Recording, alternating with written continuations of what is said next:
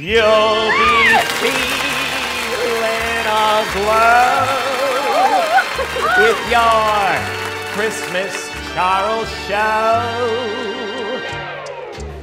But this year there's no Carol Channing or Charo. No? Yeah. That's right, ladies and gentlemen. For the first time in That's Kentertainment's Christmas Charl history, we haven't been able to get Carol Channing or Charo. David!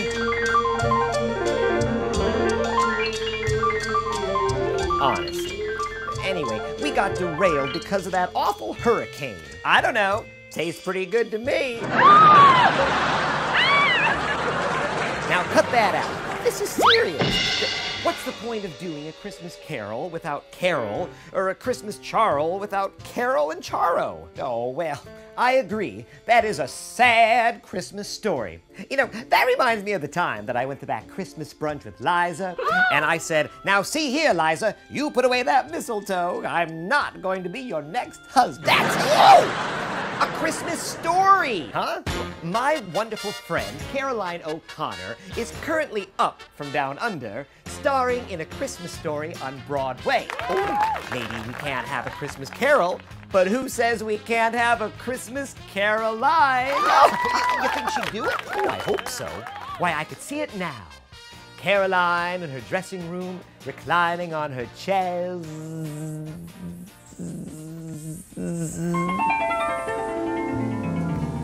Hello, Ken. I just reading my lovely novel here. And then she, he kissed her gently on the. Well, that's enough for now, I think.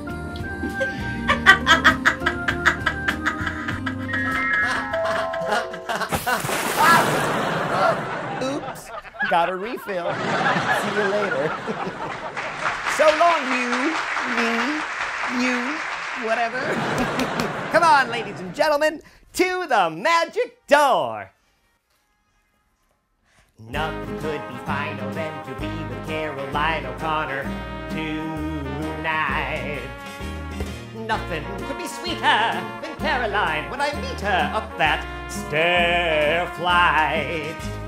Like a Christmas carol line sung right at her door. Side! Nothing could be fine, oh, than to be with oh, Caroline, oh, at Christmas time. Oh! Caroline, my word! Where did you come from? Heart, Christmas heart of love. Oh my goodness me. So long.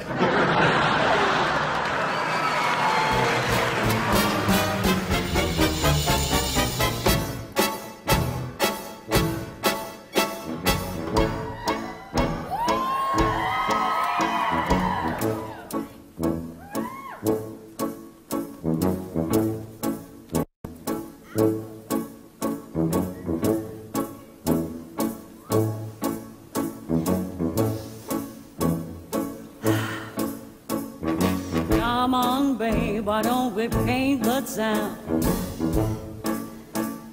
And all that jazz, I'm gonna rouge my ears and roll my stockings down.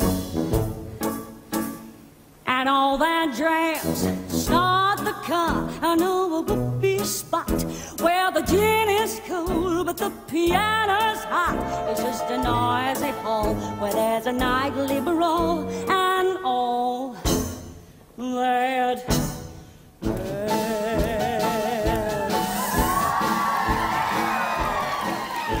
Caroline O'Connor, look, we're in the dressing room again. I know, fantastic.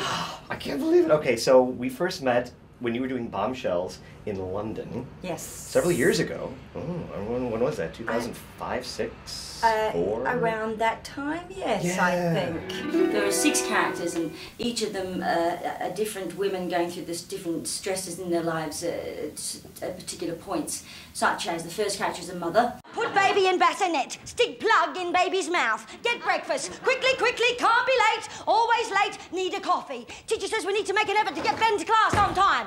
Teacher says children suffer if they're always late. Hurry, hurry, do the lunches, hurry up, lunches, lunches.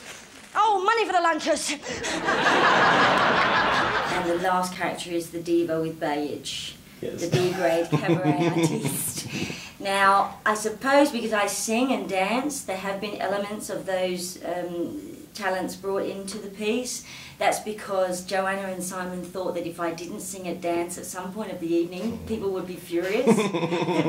That's kind of what I'm known for. You are the reason I am what I am.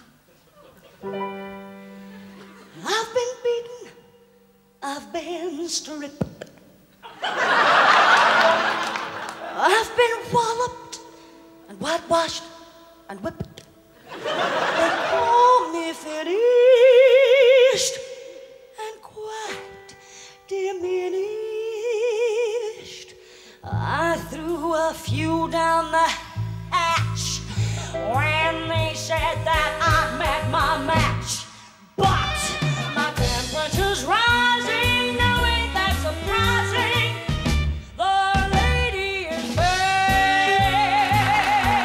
So you were doing that, and John Barrowman actually is the one who called you up and said, "Hey, this guy Ken would love to interview you," and he got us together. Who knew? And then there was Caroline O'Connor's opening night for, which if you can, if you have time to see that, seriously, you should talk to her. That Oh, show's okay. freaking amazing. Because I could get you in touch with Barry because you could do, you could interview her, but take it and use it elsewhere. It's um called Bombshells, Okay. and it's a one-woman show. And Oh, she I heard is about that. That is fucking amazing. I've, I've known Caroline for years. She was in Moulin Rouge. She was in right, Lovely right, right. Women. Yeah. Um, and she's amazing in this. Really? Oh, you should, yeah, definitely. Oh, that would be great. if we can. Well, you know, John and I were friends because of a show we did in London before that called Matador, and so oh, right. we we sort of became really good mates. I played his sister in that show, and also John helped me out um, by getting me an audition for a film called De Lovely. Because saw he that. was in that film and he rang me and said they're looking for an Ethel Merman and I he used to hear me doing it sort of backstage Right. and said "You've got to get an audition I'm going to help you out and so yeah so, so you'd and doing- they got us together which was the most important Well, that of yes, Of all, of yes, course. that right there was a there was a summertime Christmas miracle. I don't think it was, but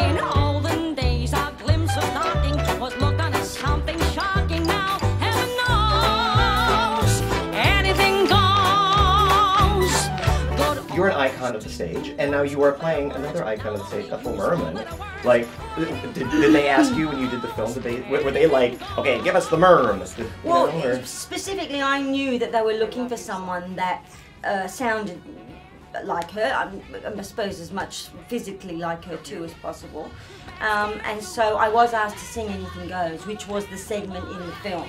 It's basically the opening night of Anything Goes and Cole Porter is in the audience with his wife and they're watching. And so um, they wanted to get someone as close to the original herself um, I don't know if you remember the film, but there were lots of very well-known faces Yeah. in the film Sure. doing vignettes and different yeah, Robbie songs. Williams and Alanis Morissette and all these Yeah, people. Yeah, incredible people. Yeah. But I think, you know, obviously I was probably I was the only person in that film I'd never heard of because surely because everyone else was like a, a Sony artist or something. But I think Irwin Winkler, the director, specifically was trying to find someone who could get that sort of real anything goes sort of sound, you know, which I always loved as a child. Yeah. So for me to have adored her for so many years and then to get to play her in a film was like incredible. That's pretty remarkable. Yeah, yeah. I've, I- I've got tapes at home in my house. Well, my mum found them when I was about 11 years old of me singing along to Ethel. Like, I would put the album of Gypsy on and I would take myself Oh God. trying to sound like her. And this was a secret thing I did when, because I used to let myself in after school. My parents did shift work and I would do this, like little voice. Right. Eh, the same. When I saw that film, I thought that was my life. And so I used to do that and try and, and I didn't want to play Dainty June or Louise. I was like, here she is, boys. I wanted to be Rose, you know, which I Rose. which I got to do last year finally in, in England. know. Yeah. And I obviously would have to do Gypsy at some point Oh, somewhere. That would be great when I'm older. Everything's coming up roses this time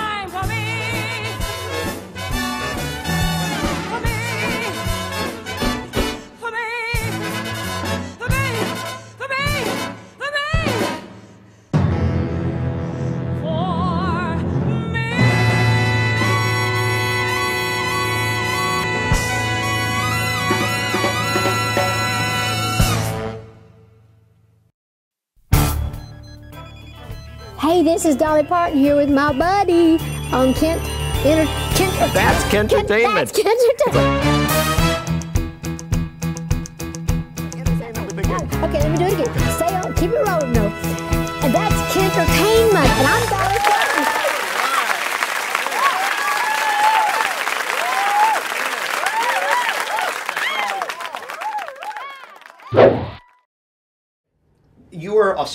and as we know, but you were born in England, though, right? I was born in England in a town called Oldham, which is spelt Oldham.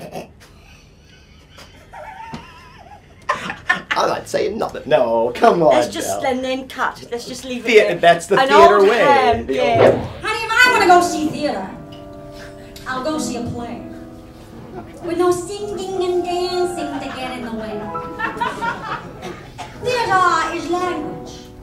That should be all. Music belongs at the Carnegie Hall. Not a reason on earth, as far as I know, to write, mount, and open a musical show.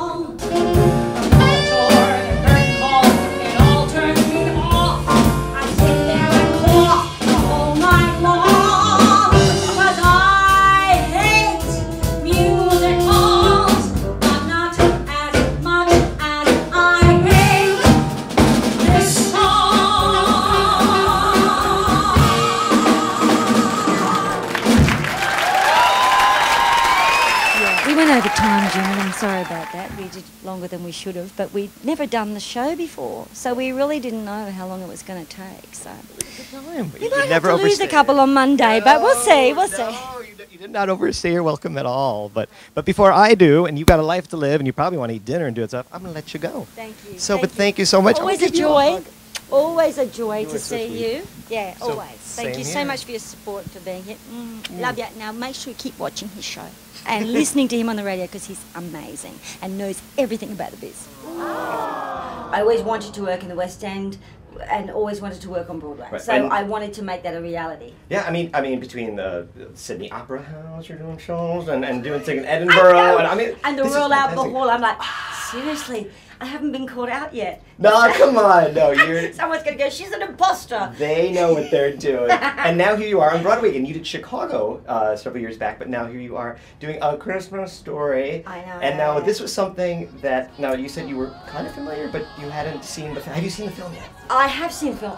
I loved it, of course, but we've never really seen it in England or Australia. So It is beloved here. I know America. it's like it's like this incredibly loved film like no other, and the audience every night go wild for it. I mean, the dialogue they seem to know it. It's like they they Oh, it's they true. yeah they see that box coming on and Fragile just goes through the roof and. And all those moments, like the guy, the little boy getting his tongue stuck to the pole, and it's such a tradition. And when we were standing in front of the theater before coming in here, some guy walked by and he said to his friend, "You're gonna shoot your eye out." Bam! Right there. So it's like, wow. This It was- is amazing. And now you get to play the teacher who, in the in the movie, you know, has has a, a smaller part than the spectacular turn. Can I say that? Look at me. I'm kissing butt, ladies and gentlemen, but I'm allowed to. She's so good. You have the most fantastic number in the show, and you're as good as married. I see you right there. I see the book. there it is. There it is. Can you tell us a little bit about I have to. this? This is hilarious. During rehearsals, um, John Rando, um, we were talking about the moments when I'm not being the teacher, like just the moments when the kids are in sort of a fantasy sequence, and I said, "Oh, wouldn't it be nice to, for me to maybe be reading a novel, perhaps something like a romance novel?" Well, they discovered that there was this book during the, that period.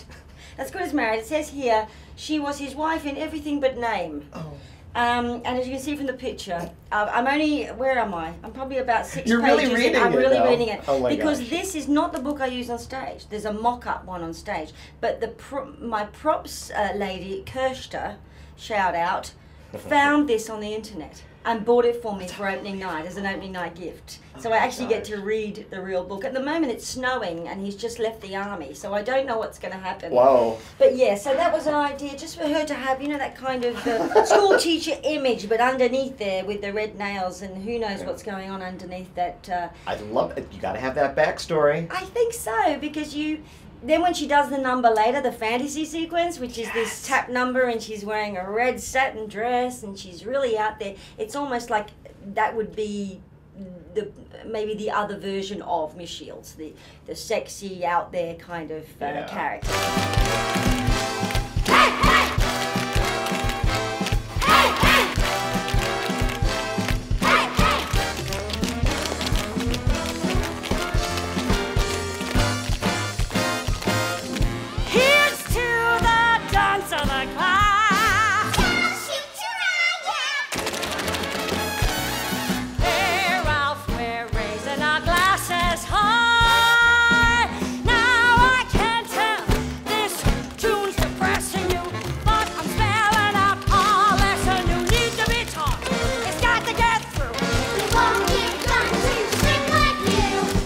A, a great little concept just to add that little touch of, um, you know, fancy. Yeah, which and it works so well because well, you have to see it. You only have till the thirtieth. You only have till the thirtieth, ladies and gentlemen. I'm not used to this widescreen world we live in now. I don't know where to go. I don't want to block you. Can you scoot your chair just a little bit? Can I?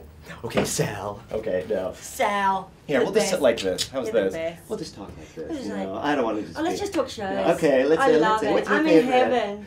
My favorite. Oh, I love it What's so the one right many. now? Well, probably a Christmas story. I would say it's probably a favorite one right now, isn't Right it? Right now, because let's face it, I mean, it's like it's like doing a role on Broadway, that- on Broadway that no one's ever done. You know, it's a kind of really kook, uh, kooky and amazing thing that happened that this show came along. You know, to get to do something like this uh, that's so loved, and also I think this is just going to take off. I think it's going to end up going all around America. Yeah. The writing, the writers. Uh, Oh, Justin Paul and Ben. Pasek are phenomenal. Yeah. So They're lovely, and not only Big that, talent. but young guys too. I mean, for Broadway, wow. I mean, I, I think I've I've been their age twice. uh, not together, but I actually think almost just No. about. Yeah, truly. Animal. And well, and how perfect too that it's Christmas time because then you get to have the most awesome dressing room I in know, all of Broadway. it pretty? Look it's at so this. pretty. I have to put them all up. It's a bit. Somebody told me I look like I'm in Hoarders, but I, I actually a Christmas order. Christmas Order, I love a new it. musical by Pascal Paul. um, but I do, and all the little things that people bought us, like little presents and trinkets and stuff. And this is a major award, actually, for my little girl Beatrice, who's just left to do another show. Oh. She gave us all a major award. And I love that, but I also love out of camera range. What's in the corner over here? Can you, can you get a little shot of that over there? Come on, you can do it. You can show it. It's all right. That's right. This is what keeps you going during couple of intermission. of Clicquot. No, I'm and in the fridge, there's um, there's a, a, couple of more. There's one from lovely Emily Skinner, who's coming and see the show tonight. Get, left one for me, and also there's a another Veuve, and there's a Gordon Mumm from my friend Patrick from Paris. So we're well stocked. Aren't they nice here? Stocked for the end of the week, or Erin Dilly, John Bolton, and Dan Lauria, Lauria, and myself, and all the older ones. We all get on great. And The older ones. yeah, and sometimes, you know, we manage to sit and have a little drinky together or something. On you the, know. and I know you can't get a shot of this now. Maybe we'll cut to it later. But the chaise lounge and the, the, the lovely heart of, of I have a Christmas heart. Christmas heart. We won't call it the other heart that we said. Well, I will tell you that Yes. my dresser said it, it was a Chris. It looks the Christmas brothel lights. The bordello heart. The. Bordello Heart of Broadway. New musical by There's a bordello Caroline heart O'Connor. Every light on Broadway. Broadway. And most of them are in here. Actually, I do have a little comedy lights up there too, but I, I love it. Like everything in the cards mean so much. I have a loft full of boxes of cards. Oh my gosh.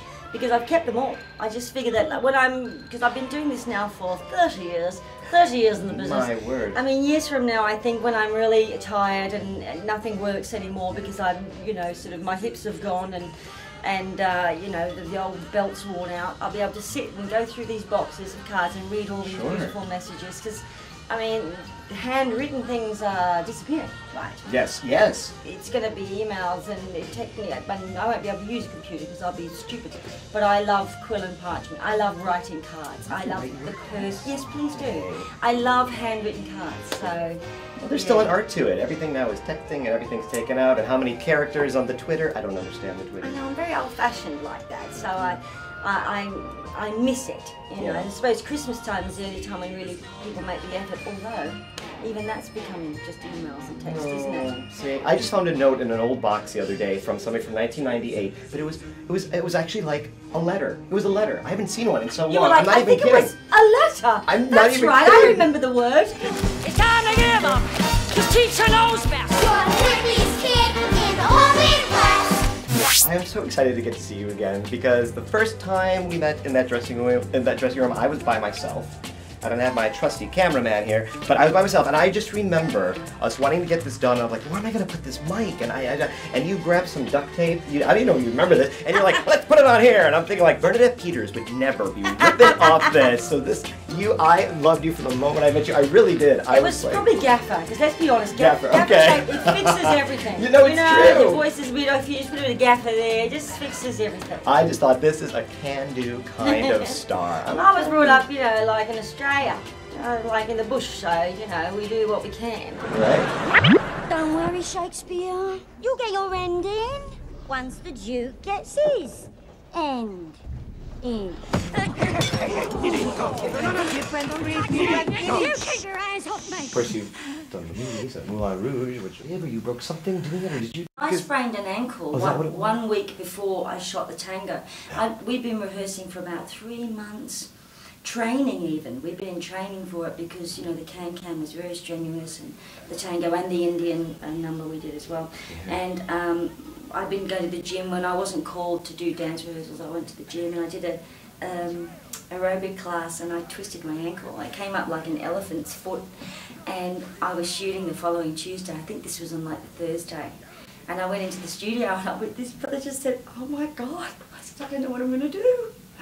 And they were like, calm, calm down. You're going to be absolutely fine. You know, I've got a great person here. They strapped it up and I worked on it for a few days. I mean, it didn't feel great. There was no way I was going to miss out on doing that fantastic number, you know.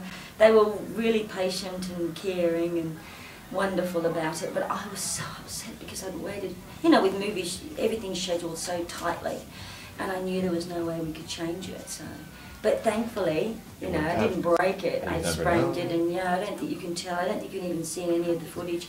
That you know, Is you- it bandaged? because it's bandaged. Yeah, it's pretty thick bandage around the, the ankle, and uh, I, feel, I don't think I've ever told anybody this on on um, on a show before. You've got a You've got a bit of a scoop here. Um, yeah, how did you get that information that it's making me wonder? Well, it was Somebody must have told you. This Yeah. ending's silly. Why would the courtesan go over the penniless rights? Whoops. I mean, sitar player. Keep your mind open. Like, don't just think I'm going to be in Cats and that's it. I think you should, you know, maybe keep the possibilities open there. I started as an Irish dancer, then a ballet dancer, then a musical theatre dancer, and then I started singing, and then I started doing film, and so you know, I just you just keep moving, and I think that keep an open mind. It's just it's a passion, you know. You have to you have to give up a lot to be in the business. You miss a lot of christenings, a lot of birthdays, a lot of weddings, a lot of special occasions, and twenty first birthdays, and and you miss a lot because you're here. Like for instance, this week we're doing nine shows. Now you're gonna miss Christmas.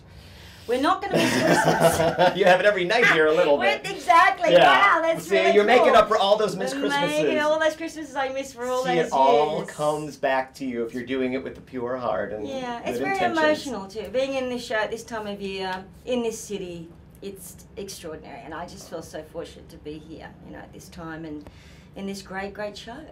Well, I'm so happy that Thanks, I'm Kate. here with you. Give us a please. Oh, for a- oh. sure! I love Oh, I'm so seeing you. you really so now, when, you, when are we going to meet again? I don't know. I don't. Maybe next time we'll be tapping together. You know, I'm gonna get. I'm gonna put my shoe, my tap shoes back on.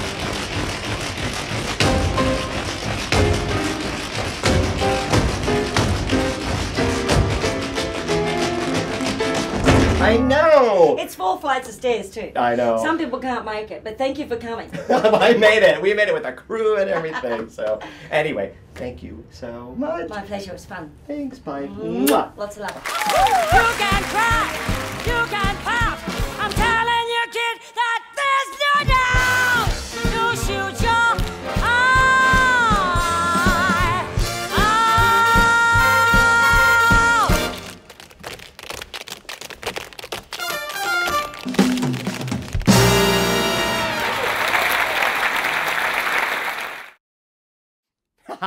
I just like to say thanks for watching, ladies and gentlemen, and Merry Christmas to all, and to all a good night. Do you hear something? Oh, I think I hear bells.